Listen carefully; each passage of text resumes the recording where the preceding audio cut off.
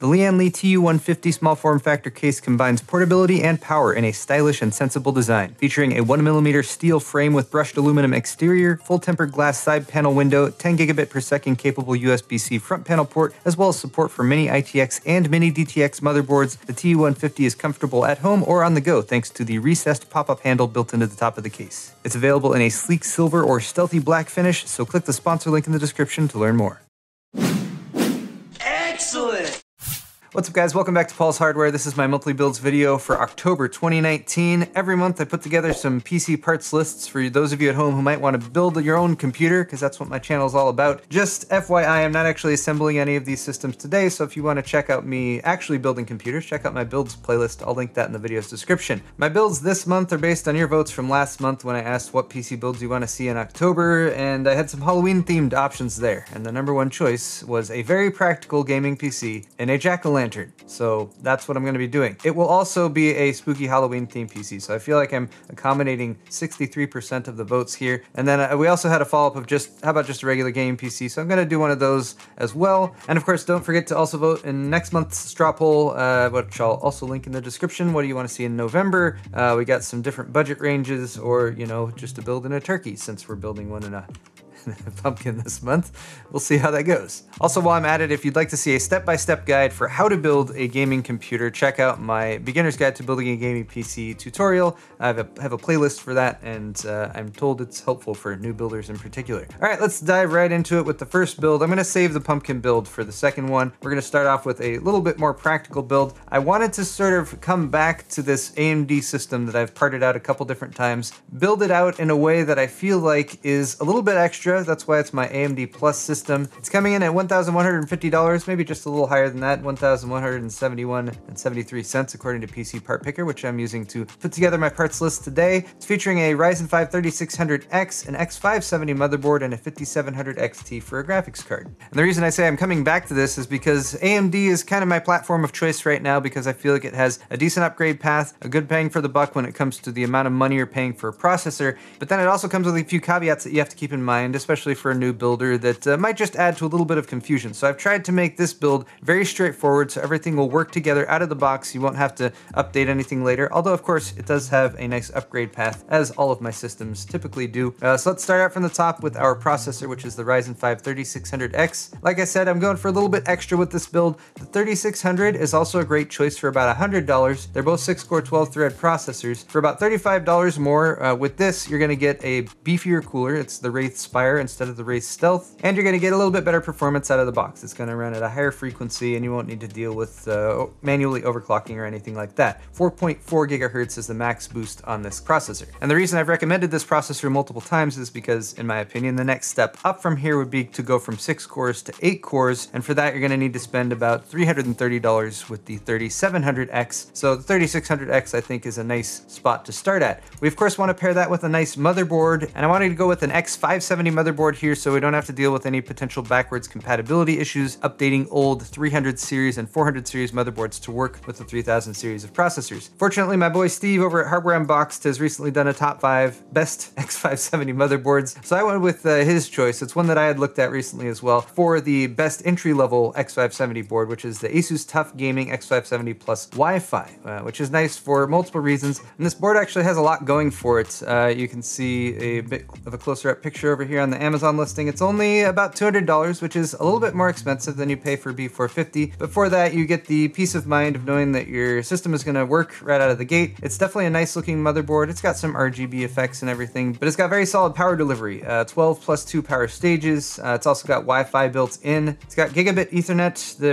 aforementioned built-in Wi-Fi, as well as Bluetooth 5.0. A decent set of I.O. options on the back with USB 3.0. A PS2 port, which you may or may not be interested in, but it's got some video outs in case you ever wanted to install an APU into it. And with the motherboard chosen, the next step is to choose memory. If you want your memory to plug into your motherboard, just make sure it's DDR4. If you want to be able to enable the XMP values and have the system work, then the best and the safest way to go about doing that is to double check your motherboard's QVL. Uh, so over here on the ASUS webpage for the TUF Gaming X570 Plus, we have memory and device support. You can take a look at memory support specifically for third gen Ryzen processors. This will download a PDF, but it's got a really long list here. What we're looking for on this list is the 3600 speed kits, which start here, and there's actually a pretty decent number of them that have been validated. And you can just go down this list and look at the model numbers here and look them up and try to find them. It can often be pretty challenging to find the specific model numbers that are on this list, but I've done a bit of that work for you and I've determined that this Corsair kit. So this Vengeance LPX kit will work with the motherboard. Asus promises it's DDR4 3600 speed, which is the sweet spot when it comes to third gen Ryzen for getting the most out of your processor. It's got decent timings, uh, CAS latency 18, not the fastest, but uh, you know, it's $118 and there are definitely cheaper 16 gig kits, 2 by 8 gig kits than this, um, but getting the peace of mind of knowing it's going to work out of the box, and then uh, of course it's Corsair, and it's a nice design too, pretty low profile, so it's going to work with a wide variety of coolers. So when I was parting out this build, I chose those as my core components, the CPU, the motherboard, and the memory, and then beyond that I was filling in the rest of the other four components uh, with an SSD, case, and power supply, and then of course we have to choose a video card. For the SSD, case, and power supply, minus the video card, we're looking at about $761. So pick your poison when it comes to graphics cards. There's options in the two to $300 range that would be perfectly fine to drop into this system. Of course, I'm looking for something that's going to provide a little bit more balance here, and since it is an all AMD system, or at least it's going to be, and I wanted to go for a little extra. I went with not the AMD Radeon 5700, but the 5700 XT. To that end, I chose a PowerColor option. It's just about $10 more than the MSRP of the standard 5700 XT, which is $399. It comes with a decent sized cooler with dual fans. It comes with a back plate, so it's going to have a nice clean finish. And PowerColor has already received uh, pretty decent accolades for their work with the 5700 series, so I think this card would work great for just about anyone. Also, a little bonus right now uh, that AMD has just kicked off. You get Borderlands 3 or Ghost Recon, as well as three months of Xbox Game Pass with the purchase. So that's a nice little add-on too. And then finishing off the last three components, we need storage, of course, and I always start with an NVMe SSD if possible. You can go with a SATA SSD, but for a 500 gig class one, you're gonna spend about $48 right now. Uh, in my opinion, it's worth it to spend about five more dollars for an NVMe SSD, uh, which is convenient in that it comes in this little form factor, just an M.2 stick, which you can mount to your motherboard, so you don't have to worry about routing cables over to a separately plugged in SSD. And while the Patriot Scorch isn't the fastest NVMe SSD out there, it's gonna get you upwards of a thousand megabytes per second reads and writes, which is about double what you get with a SATA SSD. So I think it's worth it for the extra five bucks, only $54 right now on Newegg. For a case, I chose the NZXT H510. I did a build in the H510 Elite. I kept saying the H510 Elite is a little bit expensive for what you get, but at about $80, the H510 has the majority of the features of the H510 Elite, and it's only $80. And I've already used it. it comes with dual fans as well, so you get uh, one for intake and one for exhaust. Plenty of room for expansion and a nice sleek looking case. Finally, we need a power supply. Uh, again, since I'm adding the plus on this AMD Plus build, I went with 80 plus gold instead of 80 plus bronze. You could save a few bucks by going for 80 plus bronze, but you're looking for a power supply between 550 and 750 watts. 650 watts is the sweet spot, but I found a 750 watt Cooler Master MWE Gold. So I made the call here to go for a power supply that is uh, better rated when it comes to efficiency, 80 plus gold, but it does not have a full modular uh, feature set. So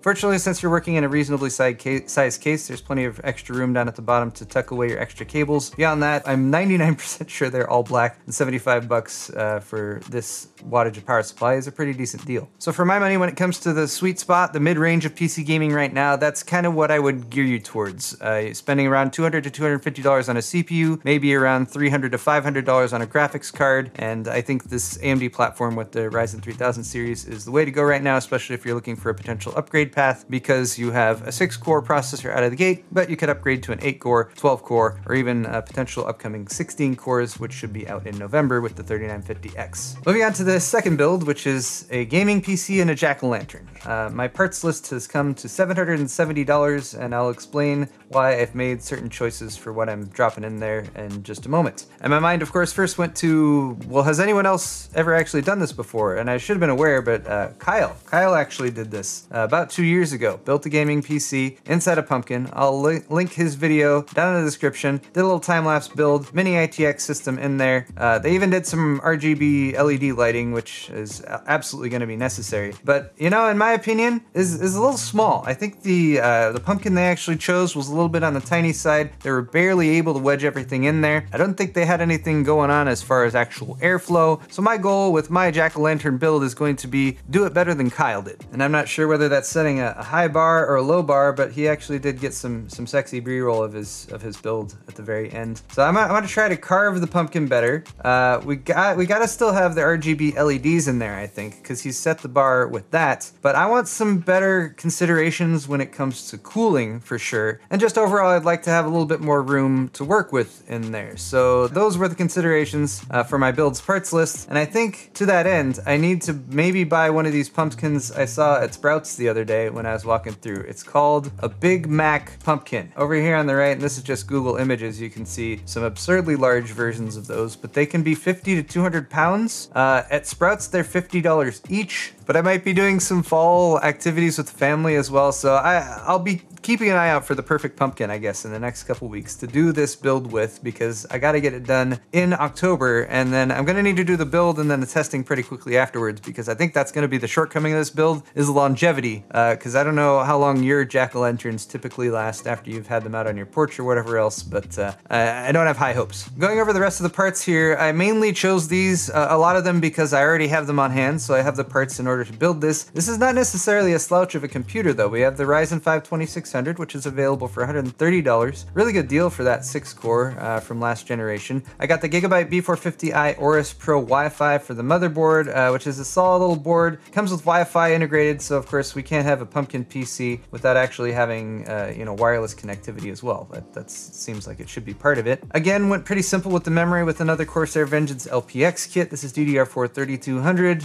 Got it so it'll work with my uh, AMD processor. For a SSD, we have an Intel 660p series, M.2 2280 NVMe SSD, which is available for about 60 bucks. Uh, solid little NVMe SSD and one that I also already have on hand. We have a GTX 660, 1660 for the graphics card. I was considering going for like the 1650 and not having the requirement of plugging in power to it, but I wanted to go again just a step up here. So we, we are gonna have to deal with some supplemental power on this card card. Uh, but again, it is one that I have and it's not terribly long, so um, length was also a concern for me. And we need a power supply. EVGA has, uh, I think, somewhat recently come out with this uh, Supernova uh, SFX series of power supplies. So 550 watts and completely modular uh, was a factor here. I don't want to have any extra cables in there because there's nowhere to route them or tuck them away or hide them uh, inside a jack-o'-lantern. So we gotta keep that in mind as well. And then I'm considering finishing touches for a build like this. It's in a jack-o'-lantern. Now I want to have some airflow, some actual active airflow, and I want to be able to turn it on without having to like take a side off and like reach in and push a button or something like that. So I didn't line up fans yet because I have a bunch of fans here that would be fairly easy to integrate. Um, we'll, we'll see, uh, and that'll greatly depend on the actual pumpkin that I end up with as well. But I did decide to grab a power switch, and they have really inexpensive power switches on Amazon, but I wanted one that looked a little bit nicer. So this one's uh, a little less than $10, but it's actually got the, I forget what style push button that is, but it's, it's the much sturdier and nicer feeling one, and it's also got uh, LED backlight. I just went for the red option there. They didn't have orange, uh, so red will be close enough for us. And then we also got to have some front panel connectivity, right? Um, we're gonna have a power switch, so we got USB 3.0 on the board, so I just went with the little USB 3.0 dual port cable. So I can take some USB 3.0 ports and put them somewhere on the pumpkin so you can plug in your, your external USB drives. I think that's very important as well. But guys, of course, uh, this is this is gonna be a fun project. I'm I'm looking forward to it. And if you guys have any suggestions for little extras, anything more that you think I should do with the pumpkin PC build, the jack-o'-lantern PC, let me know because whatever happens, it's got to turn out better than Kyle's because he already did this a couple years ago.